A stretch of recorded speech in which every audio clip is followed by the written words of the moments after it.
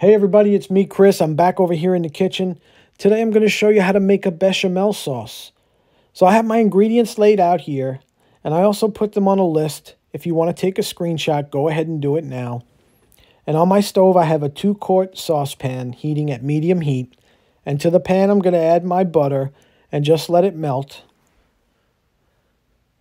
And once the butter's melted, I'm going to come in with my flour and stir this with a wooden spoon and you want to cook this for at least two to three minutes.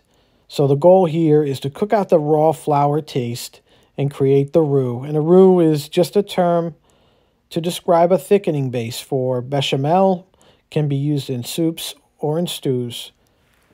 So once that's cooked, I'm going to start adding my milk. And I'm using cold milk here. If you use hot milk, it'll speed it up a little bit. But I'm using cold milk, so I'm just going to add a little bit at a time and I want to stir this continuously and you'll notice that it'll start to thicken right away.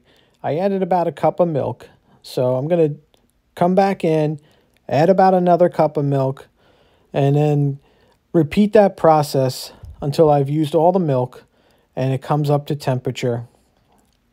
And the goal is to really just bring this up to a very gentle simmer. Uh, you really got to be careful because this can boil over quickly. And if your heat does get too high, like mine does here, just take it off the fire, shut the flame off, and then you can come back and add your seasoning. So here I have some kosher salt, some fresh cracked black pepper. Now you could use white pepper as well, but I like black pepper. And I have some fresh nutmeg here that I'm going to grate right into it. And uh, this is really a key ingredient. It gives it that signature flavor of a bechamel. So give that a stir. And if you want, just let it simmer for a couple more minutes. And if it looks a little clumpy, a whisk works really well here to smooth things out.